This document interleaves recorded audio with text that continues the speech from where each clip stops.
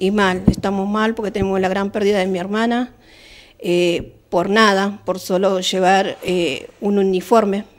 Eh, la familia mal, porque tenemos que estar todos con psicólogos, tanto mi cuñado, mi sobrino, mis hermanos. Es, es una situación fuerte, no solamente por lo, la situación de lo que pasó, sino también por las consecuencias alrededor, sino la, la inseguridad, nuestra salita que no tiene nada, que no la pudieron asistir, que eso es doloroso, porque todo el tiempo van no solamente eh, gente con esta gravedad, sino también el cotidiano, y eso te duele mucho. Te duele mucho porque también eh, nosotros luchamos para que esté como esté, que esté esa institución ahí. Pues nosotros somos una familia que siempre estuvo en todo, tanto escuela secundaria como la primaria, como eh, lo que es la salita. Históricamente son vecinos de Cuartel Vecinos de Cuartel Quinto y siempre luchamos por todos y por la gente, para el bien. Ella también fue instruida así por mi familia, por mi madre, por mi padre y es muy fuerte. Y también tener también otro hermano en la institución también te duele porque otro hermano policía? tengo otro hermano policía y también eh, estar mal eh, todo porque llega todo fuerte y rápido. No solamente el hecho aberrante, sino el, el después el hacer los trámites para que eh, su hijo no quede sin nada, el hacer el trámite para ver qué, qué, es lo que podemos lograr. ¿Cuántos años tiene el hijo de Bárbara? El hijo de Bárbara tiene cinco para seis que va a cumplir ahora en abril. Ellos salían de vacaciones al día siguiente, ¿no? Sí, salían ese mismo día. Ella venían más temprano porque ya tenían preparados los bolsos y salían con unos compañeros, salían de, vacaciones.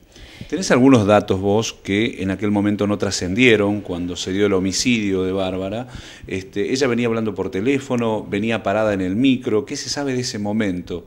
Bueno, supuestamente se dice que ella venía parada en el micro hablando con su jefe, agradeciendo de que salía de vacaciones y bueno, jefe policial de la séptima de Morón, donde trabajó. Con su propio jefe, agradeciéndole de ese, motivo de que ella salió antes, que podía eh, eh, estar con su bebé para prepararse para irse. Y bueno, pasó lo que pasó. Y bueno, que... Por eso, digamos, llegó rápido la policía. Este mismo jefe policial que estaba hablando con ella por teléfono, ¿escuchó lo que sucedía? Sí, escuchó lo que sucedía. Por el celular. Por el celular, y en la cual entonces empezó a llamar a, a la gente de Cuartel Quinto y bueno, hizo todo lo que hizo rápido. Así se pudo detener al delincuente. Detener al delincuente porque el muchacho del frente que es, trabaja en un supermercado se cruzó para poder eh, asistir o agarrar a la persona que supuestamente estaba asaltando el colectivo. En la cual, bueno, después se entera de que no era eso, ¿no? Que la había asesinado a mi hermana. Susana, lo de la salita es importante porque si la salita funcionara a esa hora, este, se la pudo haber dado los primeros auxilios a tu hermana. ¿no? Totalmente, como corresponde haber asistido bien a mi hermana, porque no solamente nosotros tenemos este caso, lamentablemente, mi mamá también murió, pero ella tenía una enfermedad en la puerta de la salita y pasó exactamente lo mismo. No salió el enfermero, no quiso asistirla y cuando... ¿La unidad sanitaria Molina Campos? Eh, no, Anderson la unidad sanitaria Anderson. Entonces lo, que te duele, perdimos dos personas que amamos en el mismo lugar porque no hubo asistencia de la gente que hay ahí. Entonces es doloroso, es muy doloroso. Entonces uno lo que quiere pedir es que eh, hagan algo. El señor intendente nos llamó, nos, llamó indirectamente para pedirnos que nosotros vayamos a una audiencia, pero que nosotros nos acerquemos a la intendencia. Y me parece que él se tendría que haber acercado a mi casa y averiguar cómo estamos, porque nosotros en este momento estamos muy mal como para ir, que él nos dé una audiencia, para poder hablar no solamente de lo que le pasó a mi hermana, sino también lo que pasó en la sala porque él también es eh, un factor importante y que tiene que estar con nosotros, no solamente cuando quiere un voto, no solamente para ir a inaugurar algo, tiene que estar cuando lo necesitamos. Y llamarnos, ¿para qué? ¿Para hacer una audiencia? ¿Para qué? ¿Para ir a llorar ahí con él y nada más? No, nosotros queremos que nos den respuesta. No solamente yo, mis vecinos también, porque somos una familia querida, porque siempre trabajamos por la comunidad. Entonces te duele esto. Y va más allá. Y no sé, yo sé que aunque este hijo de puta quede preso, mi hermana no va a volver. Y yo voy a tener que estar con mi sobrino y con toda mi familia. Y es lo que más duele. Y hoy yo estoy acá por ahí trabajando, pero solamente para poder salir de esta situación. Para poder sobrevivir. Porque con esto yo, esta mochila la voy a llevar toda mi vida. ¿Tu padre cómo está? Y mi padre mal, porque hoy por ahí puedes hablar con los vecinos, mañana se tira en una cama, está no se quiere levantar porque perdió a, su bebé, a su nena chiquita, y eso es lo que duele. ¿Cuántos años llevaba Bárbara en la policía? Eh, ella entre 5 y 6 años.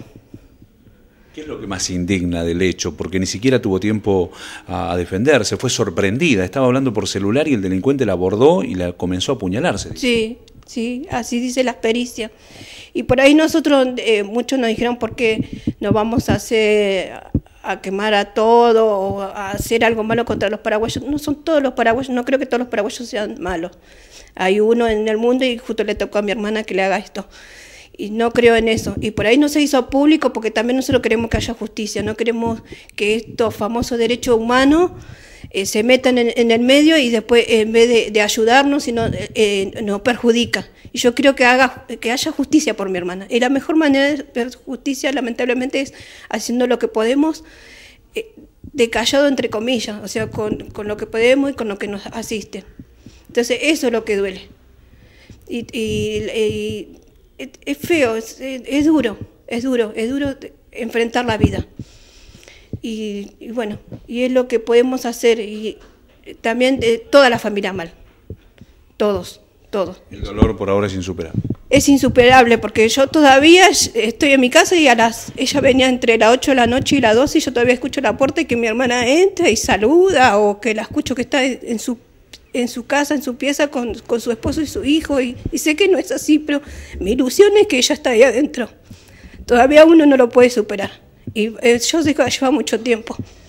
Pero lo único que hay que rogar es que toda la gente que haya estado ahí, que se acerque y que eh, sea testigo para que éste pague. Que pague con el tiempo que tiene que ser. No que venga ese dos por uno, tres por uno y todo lo que sea, sino que pague todo el tiempo que tiene que ser.